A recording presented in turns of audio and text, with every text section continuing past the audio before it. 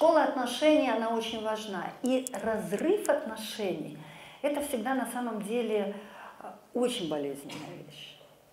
Несомненно, есть, конечно, такие ситуации, когда ну, ты просто вынужден выйти из отношений, просто, как, знаете, как катапульта, а если ну, как бы самолет уже пикирует, чтобы ну, разбиться, да, ну, то есть у меня есть много знакомых, когда муж был наркоман и уже сына привлекал в эти компании, то понятное дело, что тут ну, сложно. А, знаете, когда если а, человек тонет, несомненно, нужно ему помогать, но когда ты уже на суше, но если ты там же в болоте, то это очень сложно помочь. Вот. Но большая часть отношений, большая часть, 90 с лишним процентов, это отношения, которые можно и нужно сохранить. Я вообще на самом деле за всю свою жизнь никому не рекомендовала разводиться. Никому.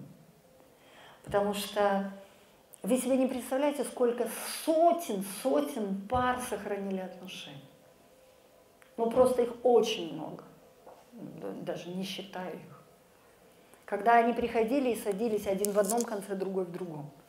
А так постепенно так сближались, сближались.